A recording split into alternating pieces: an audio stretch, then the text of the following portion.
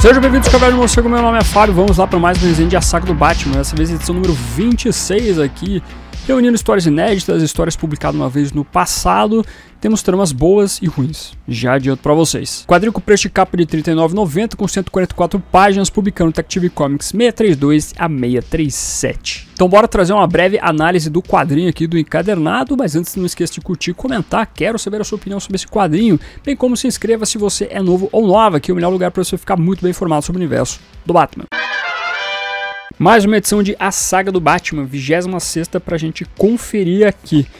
Temos uma lombadinha aqui, essa capa é bonita, né? Gostei bastante do trabalho. E temos aqui a quarta capa, A Volta do Golem em Gotham, ou de Gotham. Uma edição focada aqui na revista Detective Comics para dar uma boa publicada né, nas edições que estavam faltando. Ficamos em um bom período com histórias ou minisséries do Robin, agora voltamos ao Batman efetivamente. Temos aqui roteiros de Peter Milligan, Kelly Puckett e Louis Simmons, com os desenhos de Aparo, Tom Mandrake, Luke McDaniel e Jim Fern.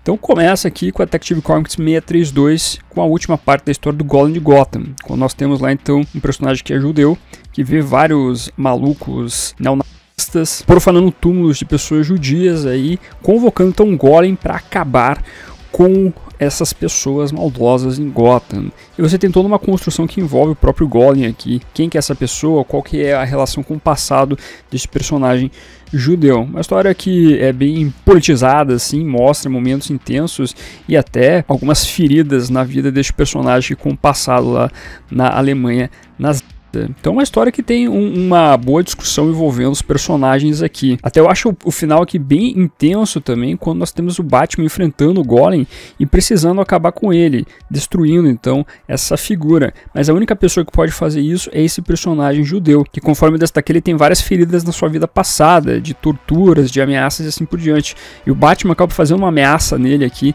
para impedir então o Golem. O Homem Morcego até se compara com o passado, com essas pessoas que fizeram mal para este personagem. Então, uma história que acaba tendo uma discussão importante na maneira como o Batman age. Então, eu, eu curti esse trabalho que o Peter Milligan fez aqui junto com o Jim Aparo. Aí nós passamos para outra história do Peter Milligan, que é a crise de identidade com o desenho do Tom Mandrake. Essa história aqui é bem interessante e que serviu de certa maneira de base para um episódio de Batman The Limited Series, quando o Batman ele acha que está sendo enganado por alguém, pois não existe mais nenhum resquício de que realmente ele é o Homem Morcego.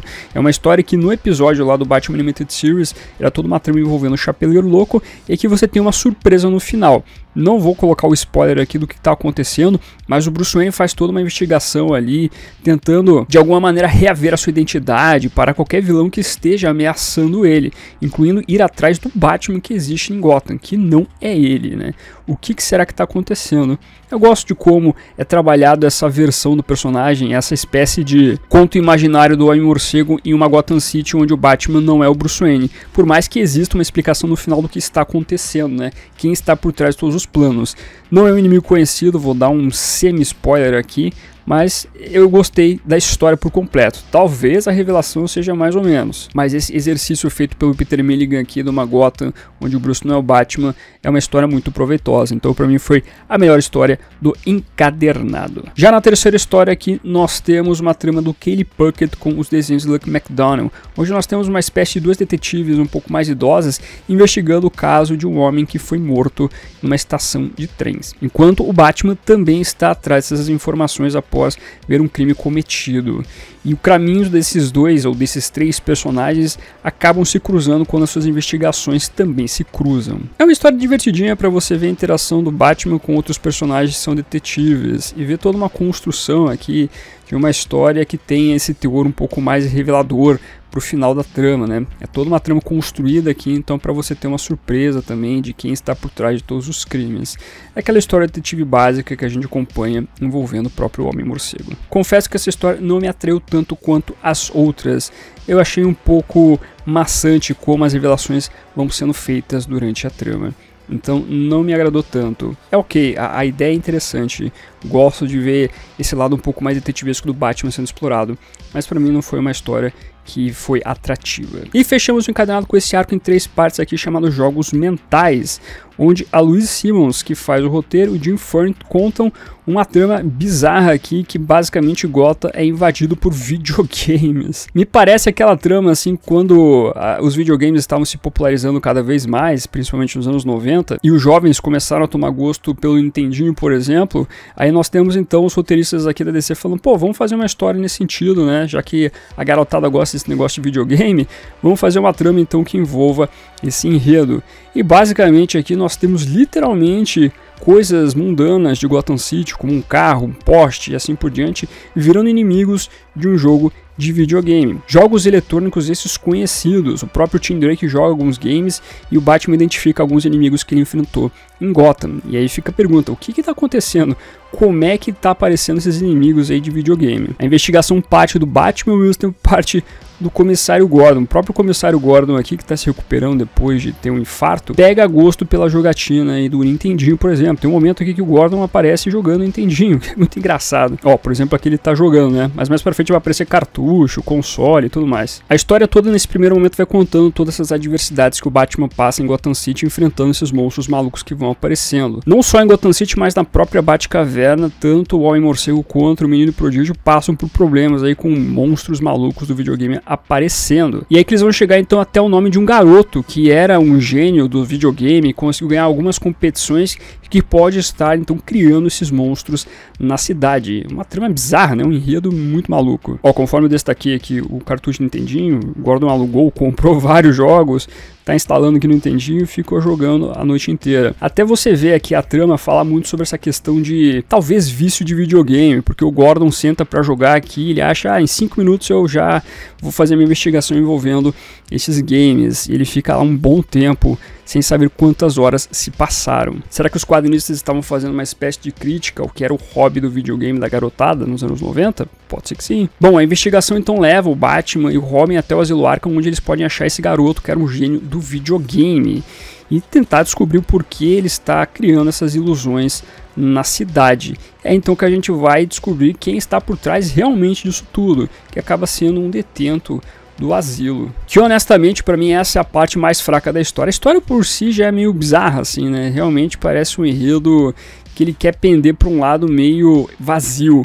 Mas o que envolve aqui as motivações desse personagem, desse antagonista, que levam ele a aprender então o garoto que criava as ilusões, é muito fraca, é muito vazia. Dando um pequeno spoiler aqui, ele acabou perdendo uma competição para esse garoto, e isso acabou então motivando ele a ir atrás do rapaz, tentar prender ele. Nossa, é muito fraco. Realmente, essa é a parte que acabou fazendo com que a história decaísse ainda mais.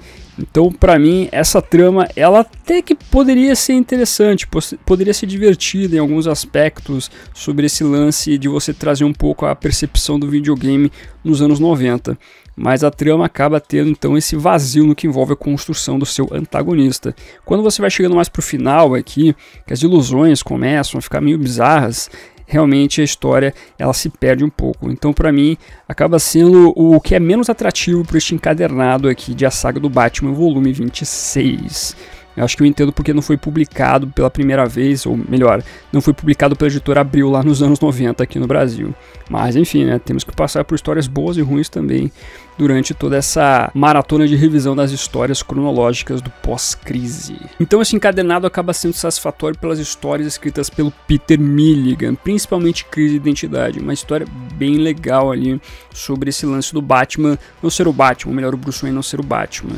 Agora, realmente, a última história, o arco de histórias que envolve ali os jogos de videogame, esse ficou devendo. Fica pela curiosidade na percepção no que envolve os videogames na época ali pelo grupo de quadrinistas. Só isso mesmo. Antes de continuar, não deixe seu comentário fixado aqui embaixo, pois sempre tem um outro quadrinhos com desconto. Se você for fazer suas compras na Amazon, loja da Panini, qualquer outra loja de internet, de qualquer tipo de produto, use nos links que estão aparecendo na sua tela, que dessa maneira você me ajuda a manter esse projeto Batman ativo. Meu muito obrigado. Então, encadenado da saga do Batman, que traz altos e baixos. Peter Milligan sendo o melhor trabalho aqui, já ao final com esse arco do videogame, o negócio fica bem abaixo.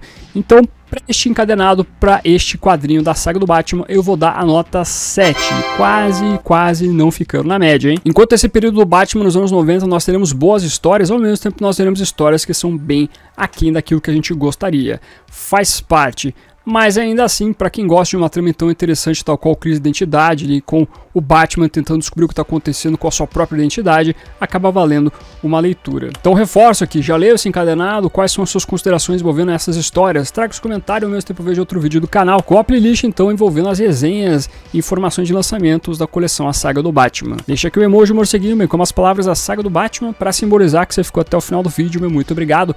Curta, compartilhe, se inscreva no canal se você é novo ou nova, marque o sininho para ser notificado nos vídeos. É isso, vou ficando por aqui. Como sempre, no final do vídeo nós temos os membros do canal, a galerinha que mantém este canalzinho aqui de pé. Agradeço demais a colaboração de vocês, bem como de você que faz suas compras através dos links da Panini, Amazon, Magazine Luiza, Submarino e assim por diante. Meu muito obrigado como sempre, e se você está chegando agora e quiser ajudar o canal, os links estarão na descrição. Aproveita que você tá aí, meu amiguinho, dá uma olhadinha no vídeo que está aparecendo agora. É um vídeo que vale seu clique. Agradeço a sua companhia, até a próxima e fui.